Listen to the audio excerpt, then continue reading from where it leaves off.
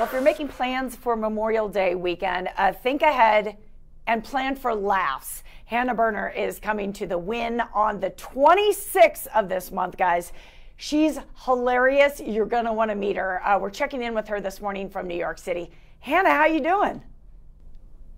I'm so excited to get a tan in Vegas this summer. Yes. I don't melt.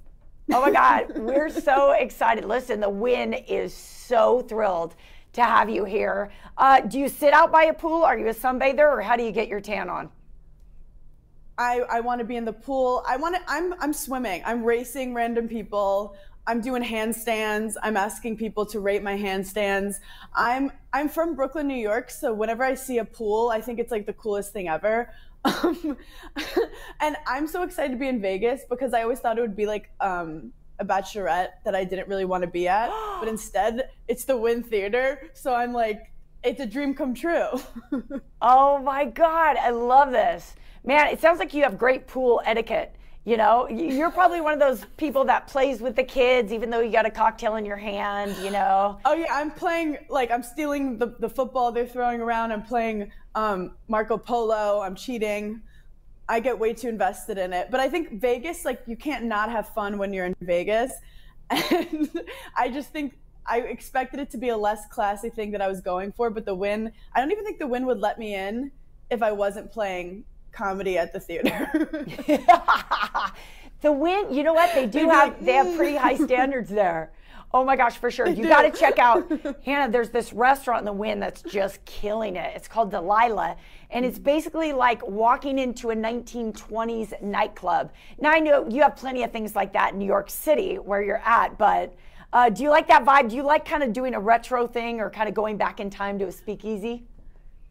Oh my God, speakeasies are the coolest, and I really I feel like when you're in Vegas, you just you feel like you're in another world. It doesn't even feel like I'm going to a different state. It's like a different planet. And you really, I think I'm going to bring my mom too. Yes. and I think we're just going to have like girls' weekend and go off because it's also Memorial Day weekend. So it's like really the launch of summer.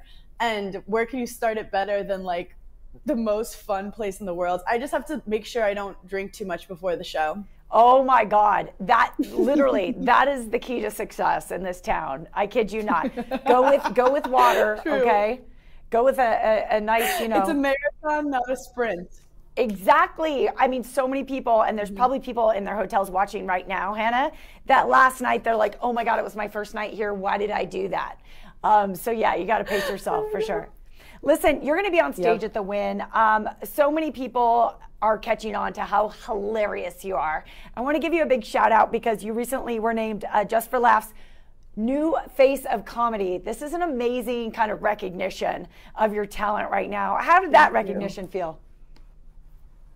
I mean, it's funny because comedy, it's hard to get the industry to ever you know, notice you because there's so many incredible comedians. I really think that TikTok and the internet has helped me kind of express myself in so many ways because it's hard for a girl to just be like at the clubs all the time with like in a male dominated space and feel like she could take up space. So I think it's a really exciting time for women in comedy to create content of all kinds and for have for have the stand up industry to like accept you and just grow from there. And, you know, Just for Laughs, New Faces was in Montreal and it was like an amazing time. I met all these cool comedians that I look up to.